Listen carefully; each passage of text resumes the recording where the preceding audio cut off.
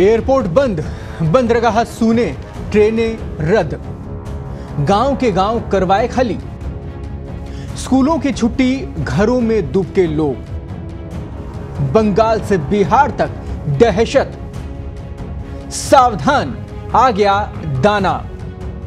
अब इन राज्यों में हाई अलर्ट देखिए मौसम पर सबसे बड़ी अपडेट नमस्कार दोस्तों, मौसम के ऊपर सबसे बड़ी अपडेट आप देख पा रहे हैं पत्रकार टीवी पर। चक्रवाती तूफ़ान दाना का सर देश के कई हिस्सों में नज़र आ रहा है।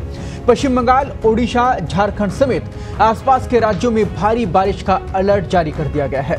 बंगाल और ओडिशा में कई इलाकों में जोरदार बरसात हुई है।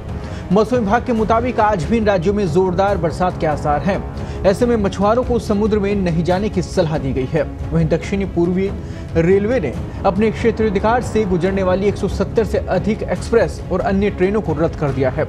आपको ये भी बता दें कि दिल्ली, एनसीआर में आज मौसम सामान्य रहेगा। वहीं ओडिशा की बात करें तो वहाँ पर तटीय इलाकों में भारी बारिश का दौर जारी है। तूफानी हवाएँ चलने से आम जनजीवन अस्त व्यस्त हो गया है। वहीं आईएमडी के मुताबिक ओडिशा के तट पर किसी भी वक्त चक्रवाती तूफ़ान दाना का कोहराम नज़र आ सकता है।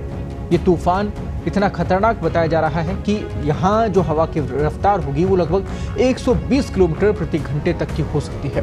बंगाल की खाड़ी के ऊपर बना चक्रवाती तूफ़ान दाना पिछले छह घंटे के दौरान 12 किलोमीटर प्रति घंटे की रफ्तार से उत्तर और उत्तर पश्चिम की ओर बढ़ा है।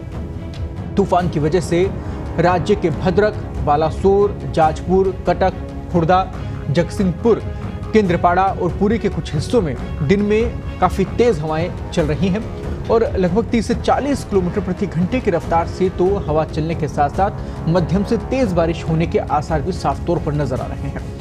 पश्चिम बंगाल के कई जिलों में सुबह से ही मध्यम से भारी तीव्रता की बारिश हुई है। चक्रवाती तूफ़ान दाना का असर राज्य में साफ़ तौर पर नज़र आ रहा है। उत्तर पश्चिमी बंगाल की खाड़ी में 90 से 100 किलोमीटर प्रति घंटे की रफ्तार से तूफानी हवाएँ दर्ज की जा रही हैं, जो कि बढ़कर 110 किलोमीटर प्रति घंटे तक पहुँच सकती है।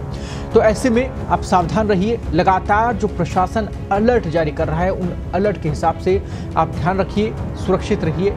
और अपने परिवार का भी ध्यान रखिए। फ़िलहाल, मौसम से जुड़ी अपडेट में इतना ही। इसी प्रकार, ताज़ा अपडेट और बड़ी खबरों के लिए बने रहिए पत्रिका के साथ। मैं हूँ आपके साथ कृपा शंकर शर्मा।